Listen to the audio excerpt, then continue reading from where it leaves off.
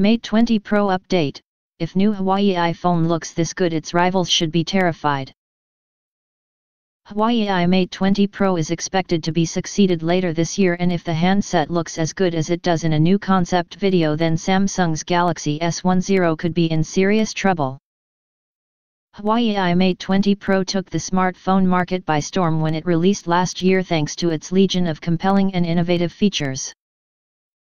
The device has one of the best camera systems around thanks to its main, telephoto, and ultra-wide-angle module that combine to provide Android fans with an incredibly diverse photography experience.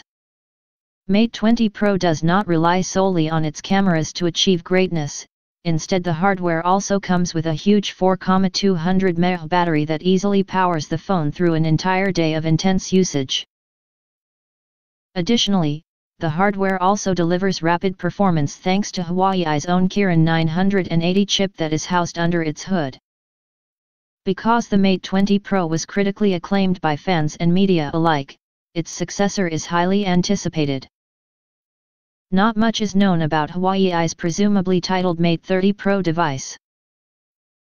However, YouTube channel Science and Knowledge has recently put together a concept video of the flagship that looks incredibly tantalizing. The Mate 30 Pro was shown touting an all-screen design with its front-facing camera system punched through the display, similar to that is present on the standard Galaxy S10 and S10e. However, the hole within the panel itself was shown to be noticeably smaller than on Samsung's offering. Mate 30 Pro was also shown to feature a curved display, as is already present on the Mate 20 Pro. Bezels on the Huawei i handset were shown to be virtually non-existent. On its rear, the Mate 30 Pro was presented as having a whopping 5 cameras. Unlike the Mate 20 Pro that positioned its cameras in a square housing, the Mate 30 Pro was shown with its quintuple lens system stacked horizontally next to its flash. It is presumed Science and Knowledge's video is displaying the forthcoming flagship with a main, telephoto, ultra-wide-angle, and time-of-flight, TOF, sensor. However, it is unknown what the function of the fifth lens in the concept video could be. The footage showed the Mate 30 Pro in black, cherry pink and Huawei's signature twilight color variant.